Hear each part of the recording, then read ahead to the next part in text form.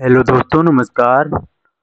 आज हम बात करेंगे सीएससी में न्यू आधार सेंटर मिलना स्टार्ट हुए हैं कि नहीं स्टार्ट हुए हैं। क्योंकि बहुत से चैनलों पे ये वीडियो चल रही है कि सीएससी से 2023 में बिना बी बैंक बीसी के आधार मिलना स्टार्ट हो गया है। तो ऐसा दोस्तों हम आप लोगों को यही बताना चाहेंगे कि ऐसा कुछ भी नहीं है। क्योंकि मेरा यूसीएल चलता था, दो हज़ार बाईस में हमारा ब्लैक लिस्ट हुआ था।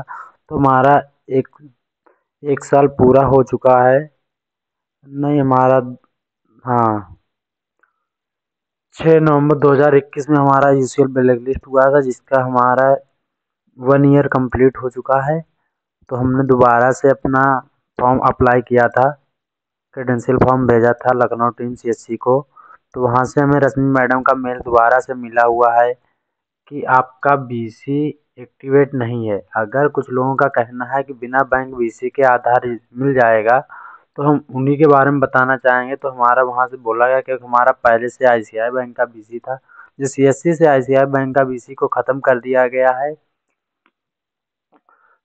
तो रश्मि मैडम के मेल में हमें बताया गया कि जब तक आप किसी भी अदर बैंक में बीसी नहीं हो जाएँगे, तब तक आपको यू सी का काम नहीं मिलेगा। मतलब कि उनके वहाँ पे पोर्टल पे हम किसी भी बैंक में बी सी शो नहीं हो रहे हैं, इसलिए हमें यूसीएल का काम नहीं दिया गया। तो दोस्तों, जो भी चैनलों पे वीडियो चल रही है, हम किसी का नाम नहीं लेना चाहेंगे तो वो लोग कह रहे हैं बिना स्टैटिक आईपी या बिना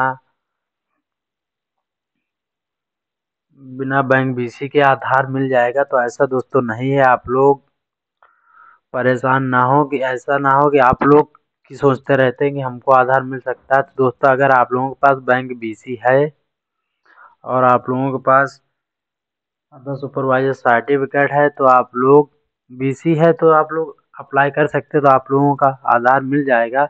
लेकिन उसके लिए स्टैटिक आईपी भी ज़रूरी है, क्योंकि जिनका स्टैटिक आईपी प्रॉब्लम कर रहा है, उनका यूजल सिंक नहीं हो रहा। ये प्रॉब्लम आए दिन हमको देखने को मिल रही है। तो दोस्तों, जो भी आप लोगों को कह रहे हैं कि new C S C new Aadhaar देना स्टार्ट हो गई। तो दोस्तों ऐसा नहीं है। बैंक, बिना बैंक वीसी के नहीं दिया जाएगा। बाकी यूसीएल फॉर्म रजिस्ट्रेशन अभी नहीं चल रहा है। जो भी वहाँ पे पहले से फॉर्म है, उन्हीं की क्रेडेंशियल एक्टिवेट की जा रही है। तो दोस्तों अब, अभी तक हमारा एक दूसरा वेली भाई है, उसने, उसकी आईडी पे ट्रांजेक्शन कम है और उसकी क्रेडेंशियल बन चुकी है। लेकिन उसका भी अभी उसका, उसको मेल में बोला जा रहा है उसकी स्टैटिक आईपी वाइड लिस्ट नहीं की जा रही है तो उसका ट्रांजेक्शन लो है। तो दोस्तों, हम, मेरा आपसे अपील है, अगर आप भी यूसीएल का काम करना चाहते हैं तो आप लोग अपने बीसी और सीएससी पोर्टल पर नियंत्रण, ज़्यादा से ज़्यादा ट्रांजेक्शन करें, अगर आप लोग, आपको आधार का काम लेना है तो। वैसे तो कोई बात नहीं, अगर आधार काम चाहिए आपको तो आपको ज़्यादा से ज़्यादा ट्रांजेक्शन करना पड़ेगा। बिना ट्रांजेक्शन के स्टेट टीम इस समय स्टैटिक आईपी नहीं वाइट लिस्ट कर रही है। तो दोस्तों, आप लोग झांसे में ना आए, किसी की वीडियो देख के कि बिना स्टैटिक आईपी और बिना बीसी के यूसीएल मिल जाएगा। तो दोस्तों, कुछ भाई लोग फर्जी, फेक लोगों से संपर्क में आते हैं कि उन्हें चाइल्ड इन्वायरमेंट का काम मिल जाएगा। किसी प्राइवेट सेक्टर से तो ऐसा भी नहीं है दोस्तों। हम यूपी की बात कर रहे हैं, अदर स्टेट की बात नहीं करना चाहेंगे। यूपी में सिर्फ़ कुछ ही रजिस्ट्रार काम कर रहे हैं। क्योंकि जो भी गवर्नमेंट रजिस्ट्रार हैं, वो सिर्फ़ ऑफिसों में ही वर्क हो रहा है।